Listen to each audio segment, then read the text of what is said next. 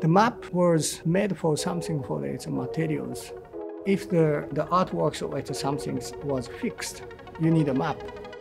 If the, all the artworks was moving, we cannot make a map.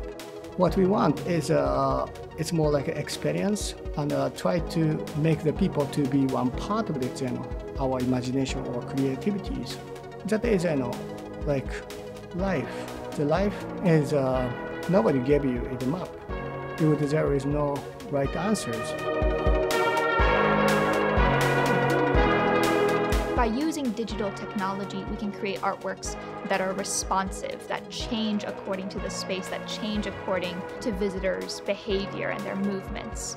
So art now has so much more flexibility and this sort of inherent interactivity that we can build in such that the artwork is more immersive, more engaging. All the works was communicate each other's and uh, there is no boundary between artworks and artworks and even there is no boundary between visitors and artworks. The visitor is a part of the artwork. That's one of the main things about teamLab's work is that the visitor themselves changes, participates in, and affects the artwork around them.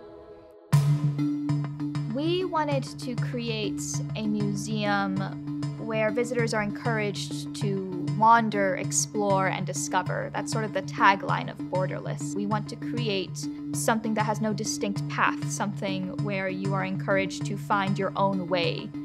At teamLab, through all of our exhibitions and through teamLab Borderless, we encourage people to explore the world in higher dimensions, to go in and physically experience a space and to physically engage with it.